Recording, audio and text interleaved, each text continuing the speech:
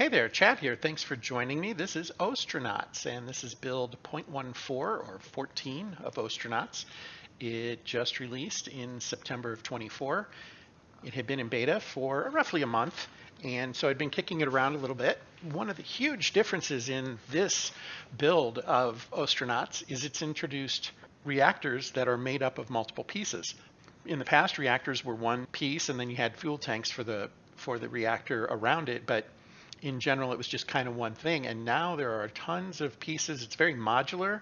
You can add duplicates of some of the pieces to make it more effective. You get to kind of play with it to tune it to how you want it to work.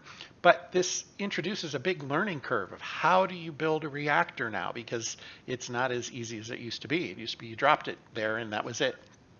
So we have multiple pieces we have to use now. And we're going to learn how to do that here right now.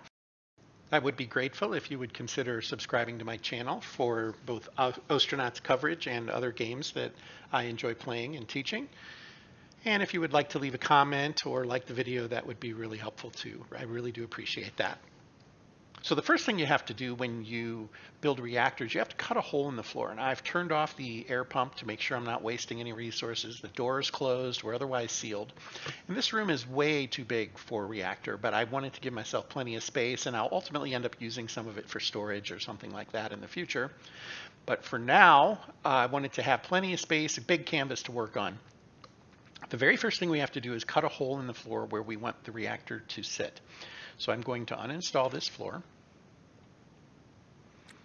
And we can speed things up here. Okay, and there that is. Put that in his pocket, and he's good to go.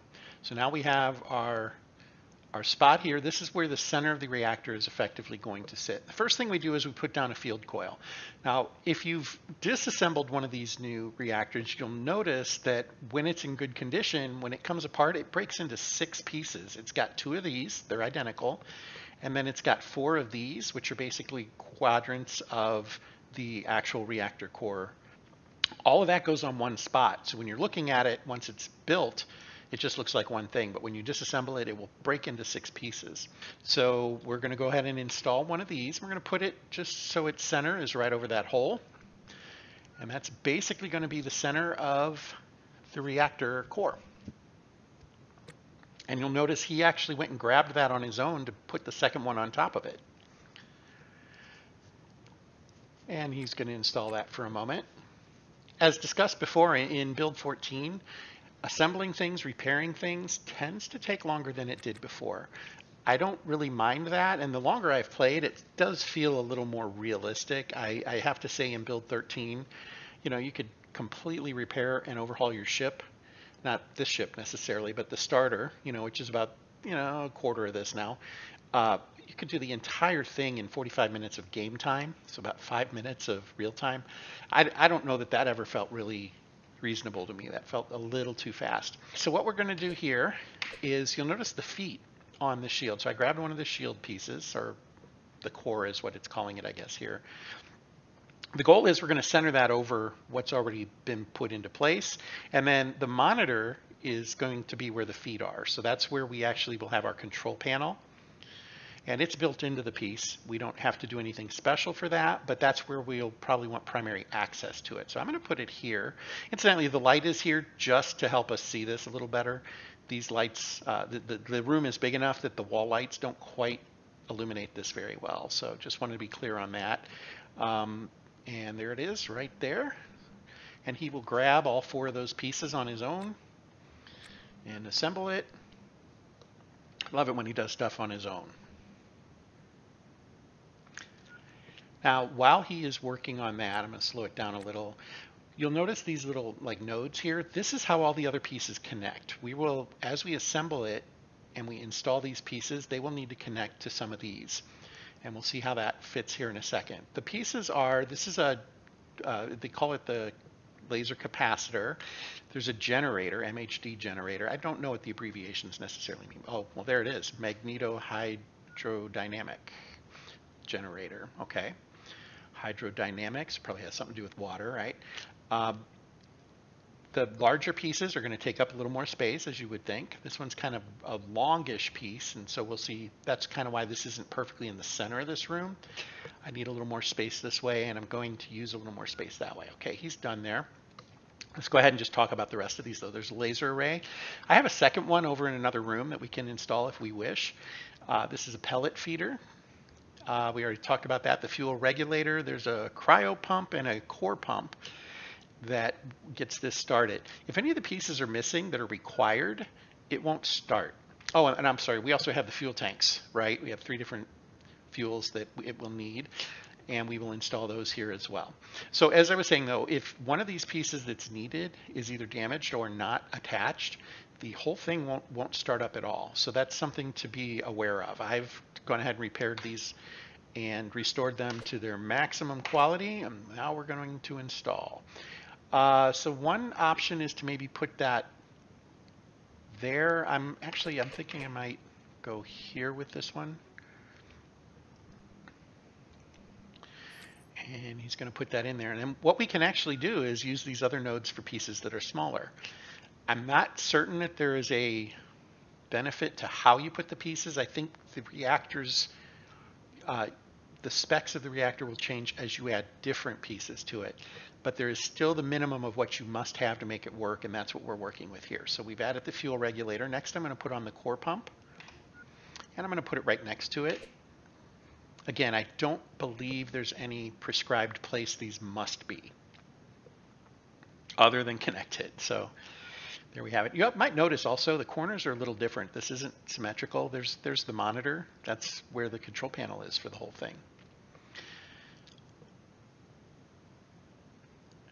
Okay, next let's add one of the bigger pieces. Let's add the generator. And the generator probably goes well like here since it kind of leans off to that side. The only thing is, is I want to be able to put a tank down there if I can. So maybe we will, maybe we'll do the generator here. Let's give that a try. The tanks take up a huge amount of space when you're placing them. I don't think you can put them in a corner like this. I think I can offset it by one and it'll be okay. But they have to be seven spaces apart.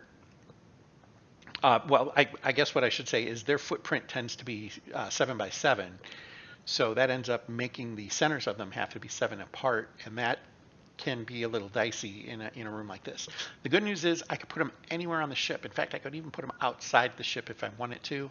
That shouldn't be a problem. They don't have to be connected with conduits or any kind of direct line of sight or anything like that. So that's good.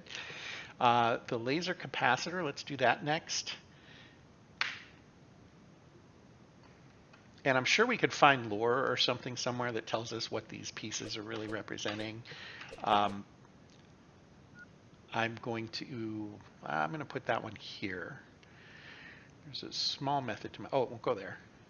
Um, yeah, it has to be on one of these, I'm sorry. So we'll put it there. I'm hoping I can get this tank here. At the very worst, I can install it in one of my cargo bays and we'll just go with that if, if that's what it comes down to. Oh, his tool died. Yeah, I knew that might happen. Um, I think his I think his drill ran out of battery. Yep, okay. Be right back. Let me replace that battery. Here he's back and he has a new battery, so we're going to go ahead and auto task to get him to start working on that, and then we'll turn that off. Let's get him to stay here at that point. And I'm going to put this pellet feeder, which I assume like feeds uh, fuel pellets into the engine. We're going to try putting it right here. Yep, that works.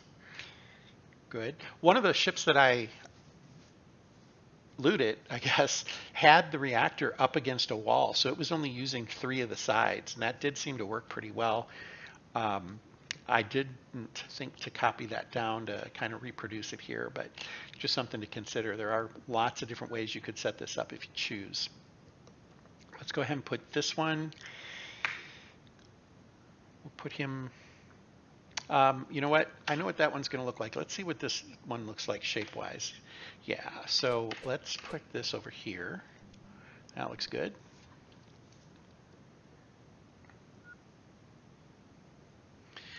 And this is the cryo pump. This is what keeps it cool. One thing I do need to do, which I haven't yet, is I need to put a cooler in this room. This room will heat up as the reactor runs, and so that's something to be mindful of. I'm going to see if I can get this tank here. Doesn't, well, maybe I pick it up first. Yeah, there we go. All right, that worked better than I thought it was going to, so I'm happy for that.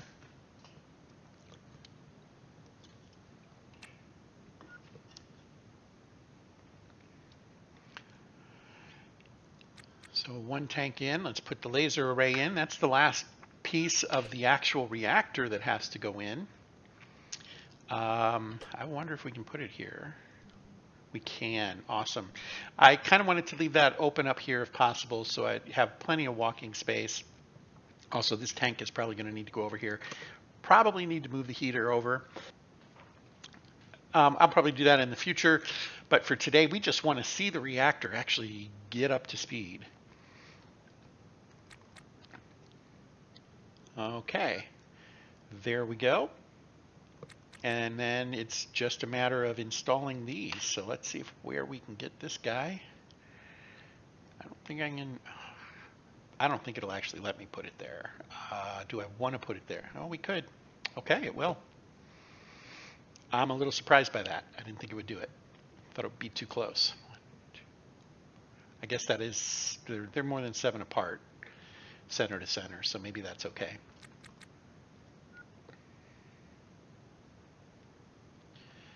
And it would be great if I could install this one down here too, but I, that, yeah, you can see that's all red. So he'll need to go maybe here. That'll work.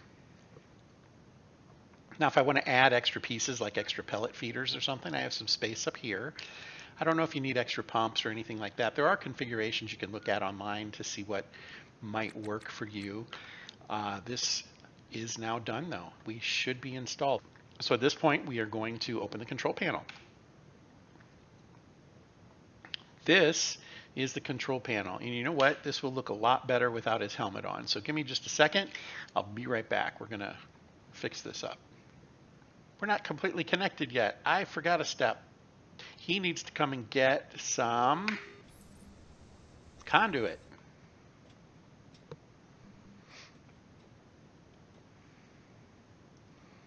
I think I counted 15 pieces. We'll take 20 just to be safe so he's not running back and forth. Okay. Pressure's still coming up. We should be in good shape. Temperature's fine. He should be okay now. All right, so I'm going to hit L, and that shows us the spots that need conduit. We're just going to go to Install, Power, Conduit. And we're going to connect these. Let's just do this. And then right there. And we will auto task it and speed him up. Oh, you should have plenty.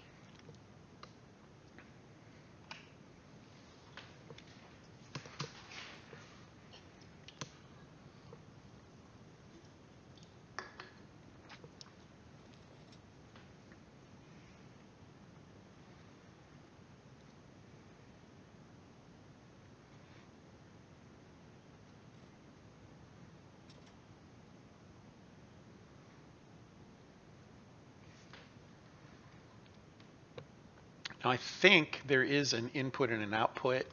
Uh, I don't have the specs for exactly how that works right now. Um, so we're just going to go ahead and continue with it here. Okay, and now you'll see uh, this would have started here. We want to first flip it to battery. And I'm going to slow it down. And that gets us started. We have a few things are already looking okay here. Now the Core Purge is green, but I haven't actually turned it on yet. Um, hopefully that doesn't turn it back to red. The uh, laser capacitor looks like it's good to go. So now we just basically follow the checklist. Laser align. Click there, green, pellet feeder. Click there, green, cryo. Click there, green, fuel, regulator, good to go there. These are the field coils. We have to do both of them good to go. MHD. Looking good. And finally, ignition. Look at that. Our reactor is up and running. Now we haven't engaged it for thrust yet, but this is basically, this is the torch drive. Um, that's going to be another video though. We will talk about it in the future. Okay, again, I hope this was helpful. Uh, I do plan on having one that shows how the torch drive works. I need to learn that. I haven't used this at all. I really don't even know what this is telling me yet. So that's going to be my work for the next couple of days, but I hope you enjoyed this and that it was helpful. Please feel free to leave a comment. I would love it if you would subscribe. That helps me out so, so much. And beyond that, I hope you have a great day. Thanks for watching. And until next time, fair travels.